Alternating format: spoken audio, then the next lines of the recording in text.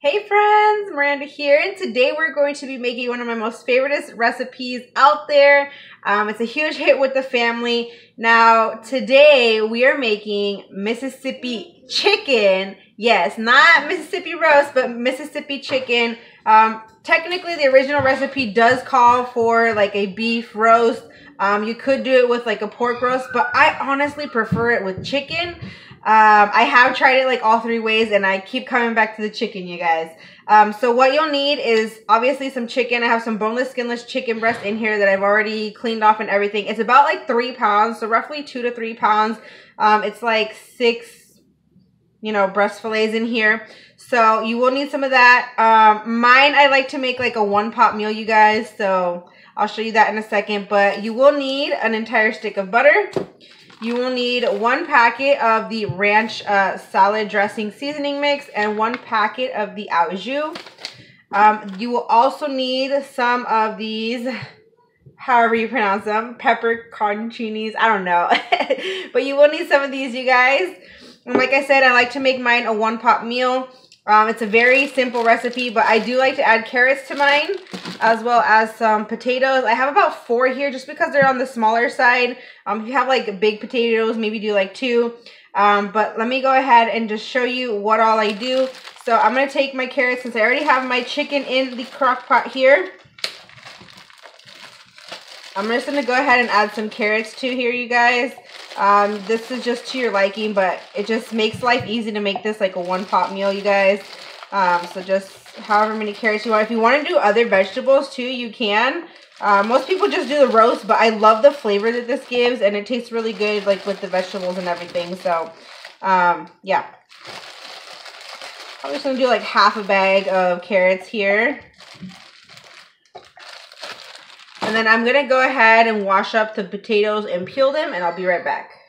Alright you guys, so I got my potatoes all peeled and cut up. I just did some like kind of not too big pieces, kind of on the smaller side. Um, then what I like to do is you're going to take your uh, ranch and your au jus mix and you're just going to go ahead and sprinkle it on top of here just like so.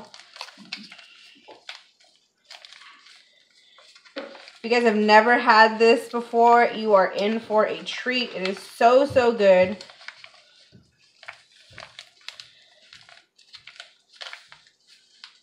Super easy recipe, you guys.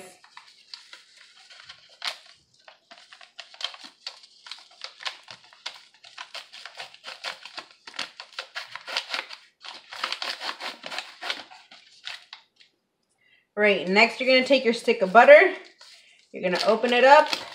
You're just going to plop it on top. and then you're going to take your peppers. And this really, you can add however many you want.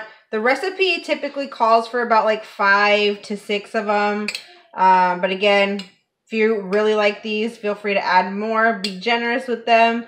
Um, but I do. I roughly just add about that amount. Or a couple more, you know. And then I do like to go ahead and add some of the juice just to give it that nice little extra flavor.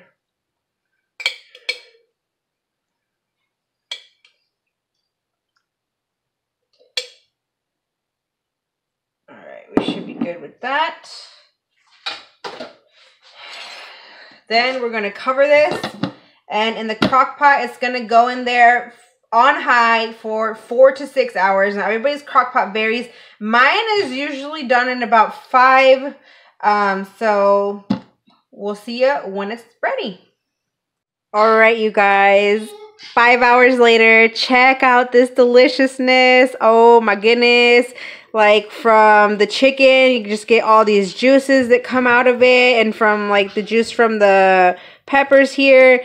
It is good, good, good to go, you guys. Let me see if I can unbury this chicken, but it should be to the point where you can either just take it out as a whole piece, but usually what I like to do is just kind of like shred up the chicken and just kind of serve it like that. Um, almost like a, kind of like a beef stew, but not quite. But look at this. You can see that it's coming apart so nicely.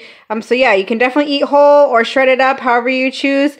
Um, and it's just, you got your whole meal here, so you are good to go. I hope you guys give this recipe a try. It is seriously amazing. It's so good. Thank you so much for watching, you guys. Enjoy.